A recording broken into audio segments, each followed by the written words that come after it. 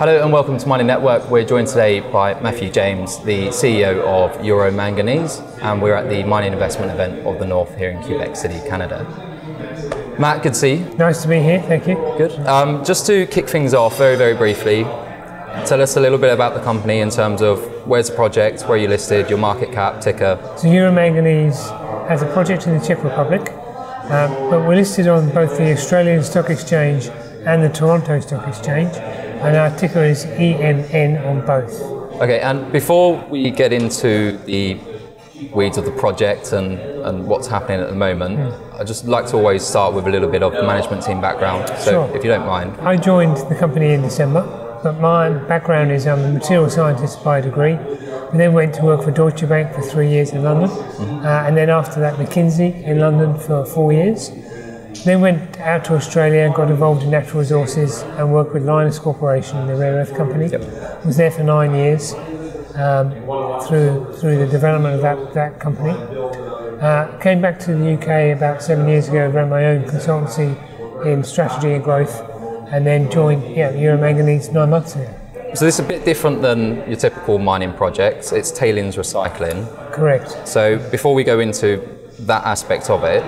What's the history in terms of there must have been a mine there before to obviously produce the tailings? Can you tell us about the history of the project? Sure. So between 1950 and 1970, in the sort of Soviet Czechoslovakian era, they were mining pyrite to produce sulfuric acid.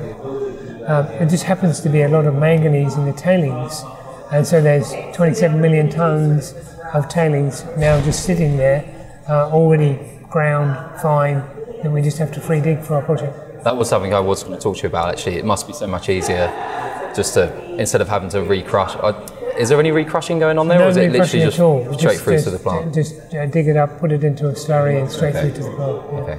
Well, I assume that will help with your overall costs in, in, in but we'll, we'll, see more of that in the PFS or through the feasibility study that comes out in, uh, in July. In July. Yes, yeah. What can you tell us about the actual grade and, and the actual deposit itself? Obviously, it sounds like it's a pretty pretty large deposit. But in terms of, say, you're talking to even say a geo or someone new, completely new to the asset, yeah. how would you best describe it? So it's a ma- manganese carbonate uh, mineral, and mm-hmm. that's important because it's easier to process.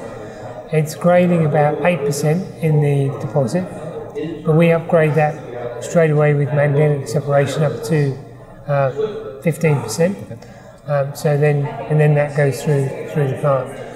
27 million tons so it's a lifetime of 25 years producing 50,000 tonnes of high purity manganese in a metal equivalent form. Let's go on to manganese actually, uh, high purity sulfate, because there are two markets for manganese. Obviously, one mainly for steel production. Now we're seeing this real emergence of high purity sulfate for batteries. Um, those familiar with the channel will, will know manganese or, or, should, should see some of the stuff we do with CPM Group and Andrew Zemek. Yes, but yeah. for those less familiar, what can you tell the audience about this market? Because it's, it's quite exciting, right? So it's a brand new market for high purity manganese. The electric vehicles, every cathode, uh, there's an NMC cathode. The M is manganese. Um, and you know, there just isn't enough high purity capacity out there for the forecast demand. So the demand from CPM Group is growing to 950,000 tonnes globally by 2030. Um, and it looks like there's going to be, if you take all the projects that we know about, plus add a, another 300,000 tonnes of production from China, which is where it's coming from today, we're still at a 450,000 tonne deficit. Again, on top of that, there are manganese rich chemistries coming to the fore because removing cobalt lowers the cost of the cathode. Yeah. So that's an exciting new growth area as well. Looking forward at your projects at the moment, obviously being based in Europe, um, it's not. It, it, can be difficult to permit a mine in Europe, but it's obviously not impossible. There's especially places like Scandinavia and other places in Eastern Europe. How are you going with the permitting process at the moment? How, how far along are you, and, and, what's the timeline looking like for that? Yeah, so the Czech Republic's a very good mining uh, environment. Uh, they, do mining there at the moment and a very clear permitting process. So we did our preliminary EIA in 2020, that came through with no problems.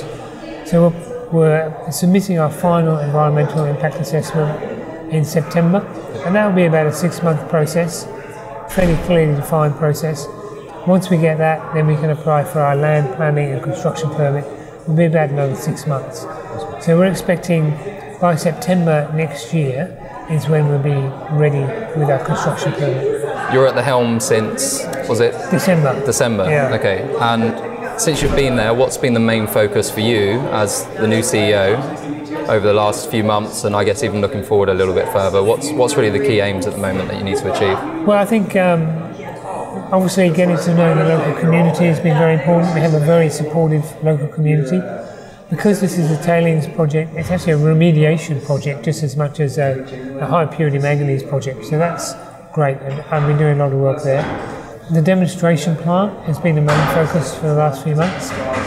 That's now been built and shipped uh, on its way to site where we've prepared two buildings ready for the installation of that. So that will be on site towards the end of this month. We then need to put that together. Uh, it's all been cold commissioned already, uh, where it was built. But uh, uh, and then and then the feasibility study has been a big focus. We've now finalised all the costs. Uh, we finalised uh, the CPM have finalised their price forecasts. So we're just putting all that all together, and we'll be announcing that in the next few weeks, early July. Just to finish things off as well. I mean, in terms of looking at the corporate structure of the company at the moment, um, obviously it's no surprise that eventually you will need to go on and look to to actually potentially raise some financing to build this mine. Yeah. Um, what's the share structure at the moment? What major backers do you have in the company? And I guess, I guess even looking a bit further, if we can, are you are you hoping to get some offtake partners down the line, which might be able to help solve with the shore up some of the debt? Sure. So, um, you know, we have 400, just over 400 million shares on issue. Um, so our market cap is, is at the moment about 100 million. We have 30, over 30 million dollars in the bank, um, which is a great place to be given the runway that we have. Um, in terms of offtake contracts, you know, we are progressing those and we anticipate to be able to announce specific offtake agreements by the end of this year.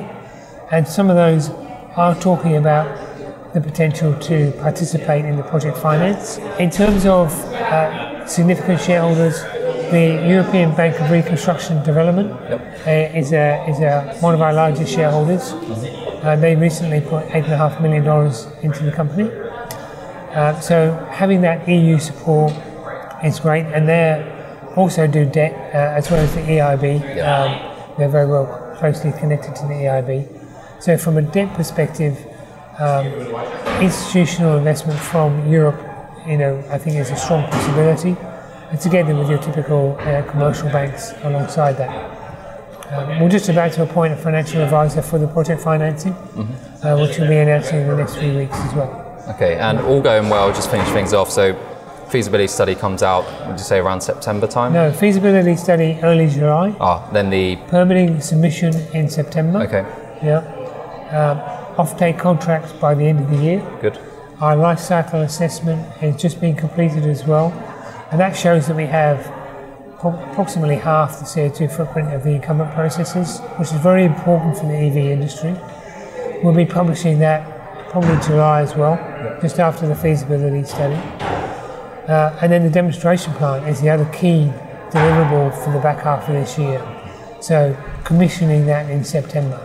And that will produce tons of samples to go to customers for qualification. Okay, so it sounds like you've got a pretty exciting year ahead. I think there are some very strong catalysts for the stock to re-rate, Yep. um, which would be obviously very helpful when we move into the project financing stage. All right, well, I'll keep up to date, but it, it does sound very exciting. Yeah, Matt, yeah. Matt, thank you for joining us. Okay, thank you. Thank you. Cheers.